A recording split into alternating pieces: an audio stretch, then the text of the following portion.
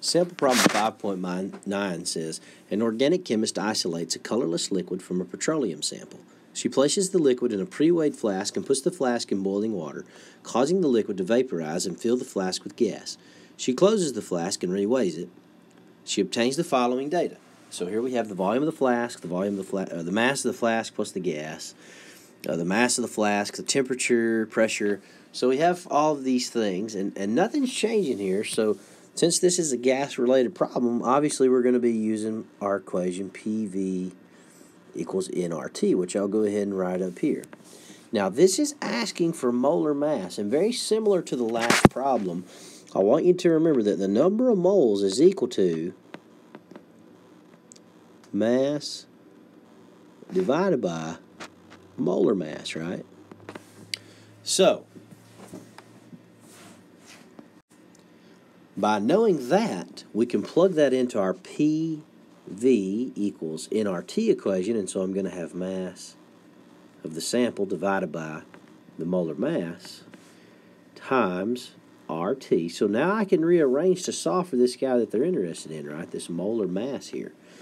So molar mass is then going to equal the mass of the sample times RT divided by PV, which we know all of these things, right?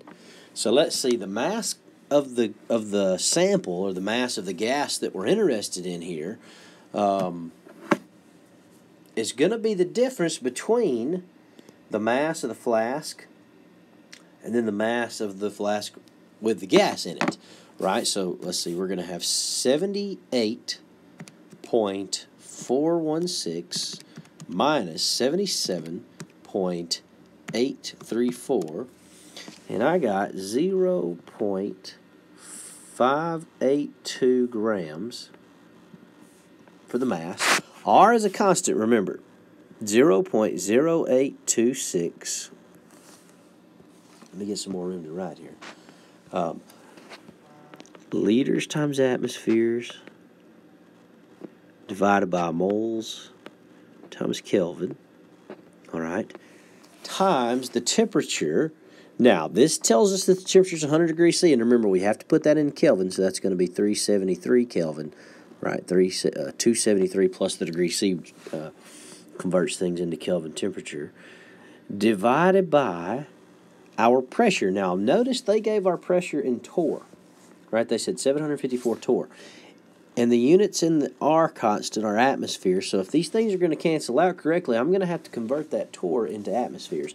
So let's do that really quick. I've got 754 torr. And remember our conversion factor. There's 760 torr in one atmosphere. Torr divided by torr is going to cancel. So let's see, 754 divided by 760. I got that's equal to 0 0.992 atmospheres. So let me put that down here, 0 0.992 ATMs. And now our volume, they say, is 213 milliliters. Note, again, the units for R have volume in liters. So I've got to convert that 213 milliliters to liters. And so that's just going to be 0.213 liters. All right, so let's check our units and be sure things are going to cancel like we need them to, right? We're solving for molar mass, so the only units left should be grams per mole. So let's check it out. I've got liters in the top, liters in the bottom. That's going to cancel. Atmospheres in the top, atmospheres in the bottom. That's going to cancel. Now, in my units for R, I've got Kelvin in the bottom and Kelvin up top for uh, temperature, so those are going to cancel. And check it out. I'm left with grams in the top and moles in the bottom. So grams per mole. Okay, so those are my units. Now let me do some math. I've got 0.582 times R, which is 0.0826, times 373 Kelvin, divided by my pressure times my volume.